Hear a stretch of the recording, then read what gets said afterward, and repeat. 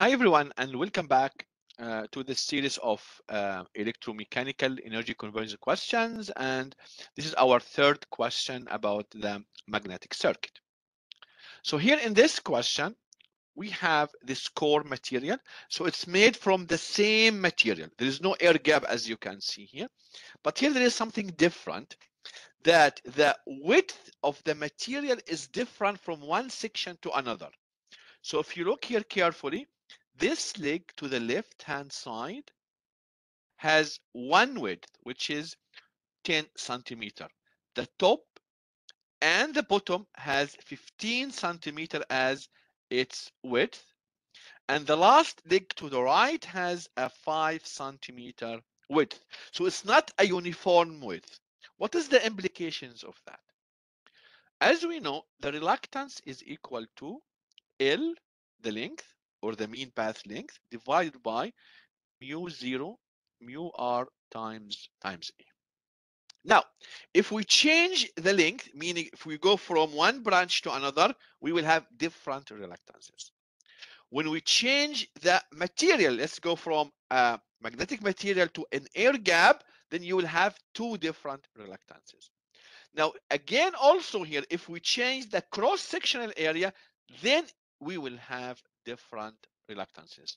So although everything in series and the flux we have here is in series, but we'll have different reluctances. So this is the first thing, or this is the new thing in that specific question. Let's see what we have here. The depth of the core is five centimeter. So the depth is uniform for all parts of the core material. And we want to find I, what is the value of the current I, that it will produce a flux that's equal to 0.005 Weber. Now, because it's uh, everything in series, we have only one flux going through the whole, the whole material. And then we want to find what is the flux density at the top part and the flux density at the right leg. And we know that mu r is equal to 8, 800. So basically, when you look to this, we will have, let's say, three different widths, meaning that our equivalent circuit will have the MMF that is coming from the NI in the number of turns times I, uh, I. Then we have the flux going up. Then we have the three reluctances in series. So we have reluctance one, reluctance two, reluctance three. So let's assume reluctance one is the top and the bottom part. And because everything in series, we can add them. Excellent. So we need to specify what is the mean path length for the top part and the bottom part. So for reluctance one, is equal to L1 divided by mu 0 mu r times A1. So what is L1? So basically L1 is the distance from the middle of the left leg to the middle of the right leg. So your L1 is equal to the 20 centimeter plus 5 plus 2.5 and because we have a mirror for that, we have exactly the same length at the bottom part. So I will multiply this by, by 2 times 10 to minus, minus 2 to convert everything into meter. Divided by mu 0, 4 pi times 10 to minus 7 times mu r, which is 800, times the cross-sectional area of the top part, which will be the width times the depth, which will be the depth is constant 0.05 meter or 5 centimeter times 15 or 0.15 meter. So when you do the calculation, you'll find the reluctance one is equal to 72.9 times 10 to power 3 ampere turn per Weber done with the first reluctance with this one. Now, the second reluctance will be the reluctance to the left, which is this one. This is the mean path for that. Now, it doesn't really matter which one you call it reluctance one, two, or three, because everything is series, so it doesn't really matter. And you can put them anywhere you want in the circuit. So reluctance 2 will equal to L2 divided by mu 0, mu r, A2. Now, L2 will be equal to the 15 centimeter, which is this distance, plus to the top half of the 15, which is 7.5, to the bottom again, half of the 15, which is another 7.5.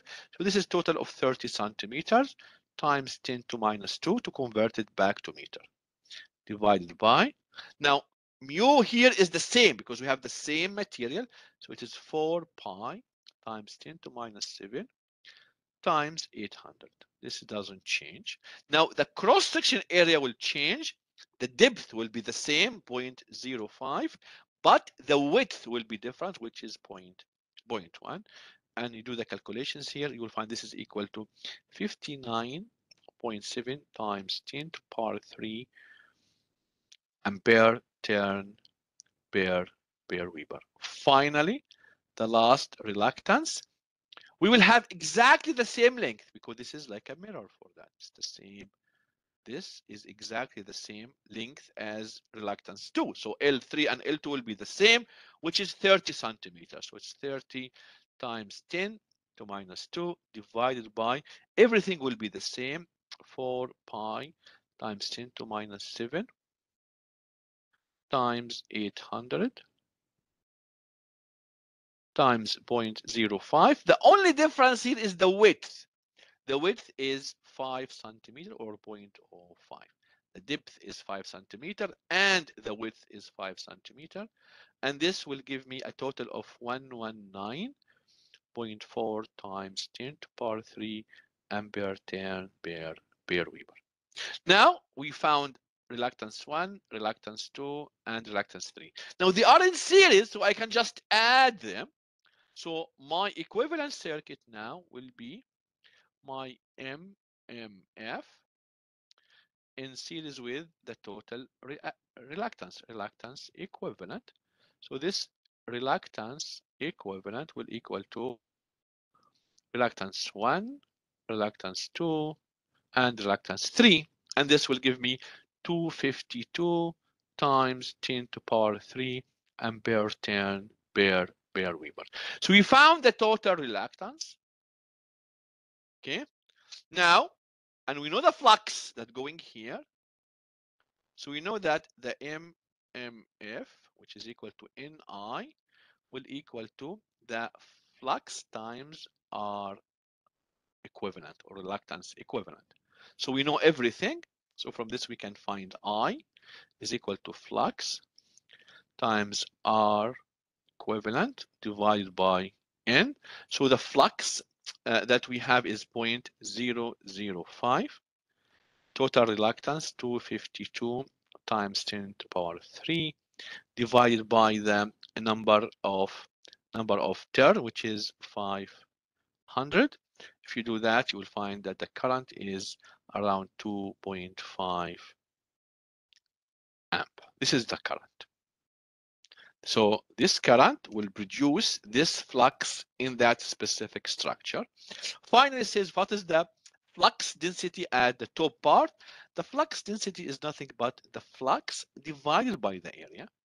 So the flux density at the top part equal to the same flux 0.005 times the cross-sectional area of the top part, which is 0.15 the width of the material times the depth, which is 0.05, and this is 0.67 Tesla.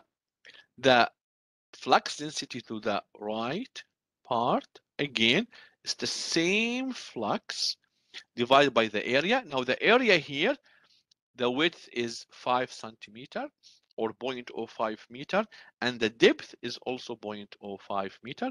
So this is equal to 0.05 times 0.05, and this will give us 2.00 Tesla. So here in this question, the new idea how to deal with a structure that has different uh, different width then you will have different cross-section area and you will have different reluctances. So although everything is in series we will have three different different reluctances